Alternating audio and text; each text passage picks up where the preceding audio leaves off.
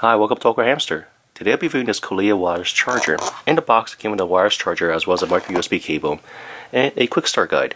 Now here's the actual charging unit. There's only one port right over here that's a micro USB input.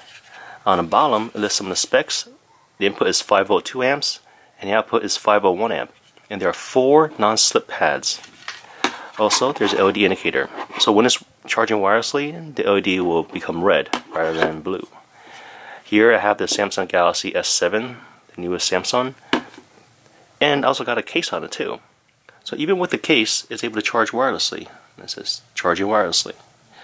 Yeah, so the unit is very low profile, very easy to use, and I really have nothing negative to say about it, so I would recommend it. Well, thanks for watching this review of the Kollea wireless charger. If you guys have any questions, comments, suggestions, feel free to contact me. Thanks for watching Awkward Hamster.